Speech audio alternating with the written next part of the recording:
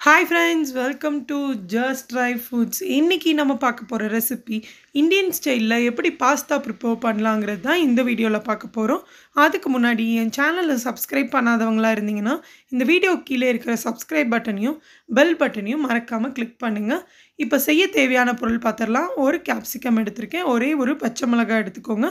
ஒரு தக்காளி ரெண்டு வெங்காயம் எடுத்திருக்கேன். பெரிய வெங்காயமாக இருந்ததுன்னா ஒரு வெங்காயம் போதும். ஒரு ஸ்பூனு இஞ்சி பூண்டு பேஸ்ட்டு பாஸ்தாவில் வந்து நிறைய டிசைன்ஸ் இருக்குது அதில் நான் இந்த ஸ்ப்ரில் டிசைன் வந்து நான் எடுத்திருக்கேன். மூணு எக் எடுத்துக்கோங்க. இப்போ எப்படி ப்ரிப்பேர் பண்ணலான்னு பார்க்கலாம் வாங்க. ஸ்டவ்வில் ஒரு பேன் வச்சுடுங்க. அதில் ஒரு சொம்பு அளவுக்கு நான் வாட்டர் ஆட் பண்ணியிருக்கேன். அதாவது நீங்கள் போடுற பாஸ்தா வந்து முங்கணும் உங்களுக்கு. அந்த அளவுக்கு வாட்டர் ஆட் பண்ணிக்கோங்க. இப்போ கொஞ்சம் வாட்டர் ஆட் பண்ணிவிட்டு அதை நல்லா கொதிக்கிற வரைக்கும் நீங்கள் வெயிட் பண்ணுங்கள் சைடில் பார்த்தீங்கன்னா ஒரு குக்கரில் மூணு எக்கையும் வந்து வேக வச்சு எடுத்திருக்கேன். இப்போ தண்ணி வந்து நல்லா கொதிக்கணும் நம்மளுக்கு. அதுக்கு முன்னாடி அதில் ஒரு ஸ்பூனு சால்ட்டும் ரெண்டு ஸ்பூனு ஆயிலும் ஆட் பண்ணுறேன் பாஸ்தாக்கு தேவையான சால்ட்டு. ஆயில் வந்து ஆட் பண்ணுறதுனால உங்களுக்கு பாஸ்தா நல்லா வெந்ததுக்கப்புறம் பார்த்தீங்கன்னா தனித்தனியாக கிடைக்கணுங்கிறதுனால ஆட் பண்ணுறோம் இப்போது நல்லா கொதித்ததுக்கப்புறம் ஒரு கப்பு பாஸ்தா வந்து நான் ஆட் பண்ணுறேன் ஆட் பண்ணிவிட்டு மினிமம் ஃபைவ் மினிட்ஸ் வந்து நல்லா கொதிக்கணும் ஹை ஃப்ளேமில் வச்சுட்டு.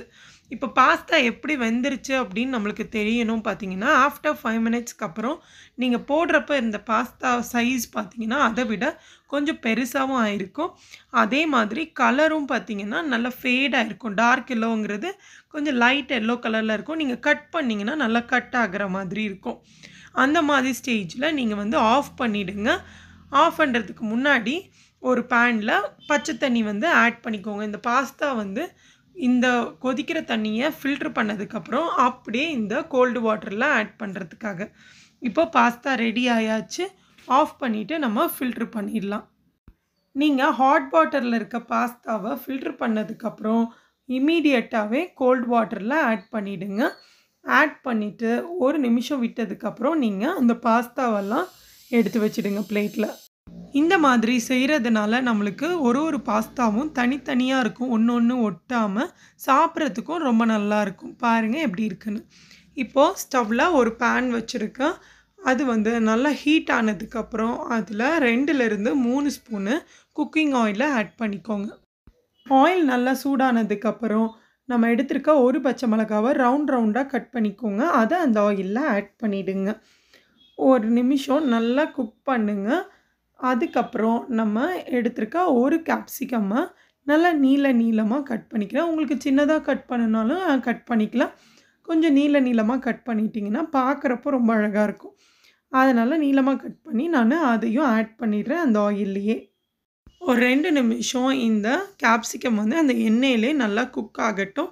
அதுக்கப்புறம் எடுத்திருக்க ரெண்டு மீடியம் சைஸ் ஆனியனை சின்ன சின்னதாக கட் பண்ணி அதையும் அதில் ஆட் பண்ணுங்கள் வெங்காயம் ஓரளவு வதங்கினதுக்கப்புறம் அதில் ஒரு ஸ்பூனு இஞ்சி பூண்டு பேஸ்ட் இதில் வந்து ரொம்ப அதிகம் போட்டுறக்கூடாது. ஒரு ஃப்ளேவருக்காக தான் நம்ம இஞ்சி பூண்டு பேஸ்ட் ஆட் பண்ணுறோம் அதனால் ஒரு சின்ன ஸ்பூனுக்கு ஒரு ஸ்பூன் வந்து நீங்கள் ஆட் பண்ணிக்கோங்க. இஞ்சி பூண்டு ஆட் பண்ணி ஒரு அஞ்சு நிமிஷம் நல்லா வதக்குங்க. அதுக்கப்புறம் அரை ஸ்பூனு மஞ்சத்தூள் அரை ஸ்பூனு மிளகாய்த்தூள். இது லைட் கலரிங்க்காக நம்ம ஆட் பண்ணுறோம் அதிகமாக ஆட் பண்ண வேண்டாம். மிளகாய்த்தூள் அதிகமாக ஆட் பண்ணிட்டிங்கன்னா ரொம்ப காரமாகிடும் நம்ம ஆல்ரெடி கேப்சிக்கமும் பச்சை மிளகாலாம் ஆட் பண்ணதுனால அரை ஸ்பூனு மிளகாய்த்தூள் ஆட் பண்ணாலே போதும் உங்களுக்கு. அதுக்கப்புறம் எடுத்துருக்கிற ஒரு தக்காளியை மிக்சியில் போட்டு நல்லா அரைச்சி வாட்டர் எதுவுமே ஆட் பண்ணாமல் அந்த டொமேட்டோ பேஸ்ட்டை இதில் ஆட் பண்ணி வதக்குங்க. தக்காளி வந்து நல்லா குக் ஆகிருக்கணும். அது வரைக்கும் நல்லா வதக்குங்க. தக்காளி நல்லா வதக்குனதுக்கப்புறம் அதில் பாஸ்தாவை ஆட் பண்ணி எல்லா இடத்துலையும் பாஸ்தா மேலே மசாலா பிடிக்கிற மாதிரி மிக்ஸ் பண்ணிவிடுங்க மிக்ஸ் பண்ண பாஸ்தாவில் ரெண்டு ஸ்பூனு டொமேட்டோ கெச்சப் ஆட் பண்ணிக்கோங்க. அடுத்தது ஒரு ஸ்பூனு ரெட் பாஸ்தா சாஸ் வந்து ஆட் பண்ணியிருக்கேன் இது வந்து ஆப்ஷனல் தான். கடைகளில் கிடைக்கிது. விருப்பம் இருக்கிறவங்க ஆட் பண்ணிக்கலாம். இது ஆட் பண்ணால் தான் டேஸ்ட் இருக்குமான்னு கேட்டால் அப்படி இல்லை. ஆட் பண்ணாமே வந்து டேஸ்ட் உங்களுக்கு நல்லாவே கிடைக்கும். ரெண்டு ஸ்பூனு மயனீஸ் வந்து ஆட் பண்ணிக்கோங்க. அதுக்கப்புறம் சோயா சாஸ் வந்து சின்ன ஸ்பூனில் ஒரு அரை ஸ்பூன் மட்டும் ஆட் பண்ணுறேன் சோயா சாஸ்க்கு புளிப்புத்தன்மை அதிகமாக இருக்கும். நீங்கள் ஆட் ரொம்ப ஆட் பண்ணிட்டீங்க அப்படின்னா உங்களுக்கு டிஷ்ஷே ஸ்பாயில் ஆகிடும் அதனால் கொஞ்சமாக ஆட் பண்ணிக்கோங்க. இப்போது எல்லாம் நல்லா மிக்ஸ் பண்ணிவிடுங்க பாஸ்தாவில் எல்லா சாஸும் வந்து மிங்கிள் ஆகணும். நல்லா மிக்ஸ் பண்ணதுக்கப்புறம் நீங்கள் எக்கு சாப்பிட்றவங்களா இருந்தீங்கன்னா அந்த எக்கை வந்து சின்ன சின்னதாக கட் பண்ணி சின்ன சின்ன பீஸா கட் பண்ணிக்கோங்க.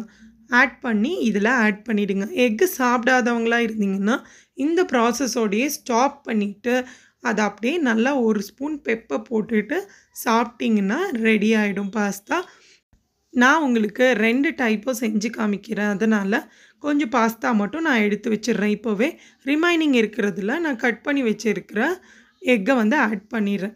இதில் நீங்கள் சேர்த்த மஞ்சக்கறி எல்லாமே பாஸ்தாவோட நல்லா மிக்ஸ் ஆகி வெறும் ஒயிட் மட்டும் அங்கங்கே இருக்கிற மாதிரி தெரியும். எல்லோ கலர் தெரியாமையே போயிடும். ஃபுல்லாக பாஸ்தாவில் நல்லா மிக்ஸ் ஆகிடும் மிக்ஸ் ஆனதுக்கப்புறம் லாஸ்ட்டாக ஒரு ஸ்பூன் ஃபுல்லாக பெப்பரை வந்து ஆட் பண்ணி நீங்கள் எடுத்துட்டீங்க அப்படின்னா பாஸ்தா வந்து ரெடி ஆயிடுச்சு. இந்த பாஸ்தாவில் நம்ம ஆட் பண்ண கேப்சிகம்மு எக்கோடு சாப்பிட்றப்போ டேஸ்ட்டு ரொம்பவே நல்லாயிருக்கும் அதே மாதிரி இதில் அதிகமாக கெச்சப்போ இல்லை வேறு எந்த சாஸுமே ஆட் பண்ணிடாதீங்க. நான் சொன்ன அளவுக்கு ஆட் பண்ணிக்கோங்க.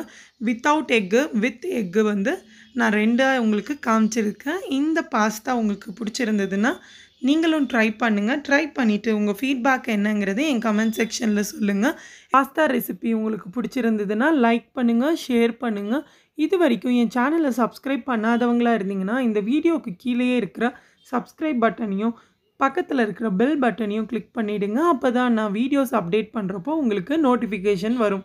ஃபார் வாட்சிங் ஜஸ்ட் ட்ரை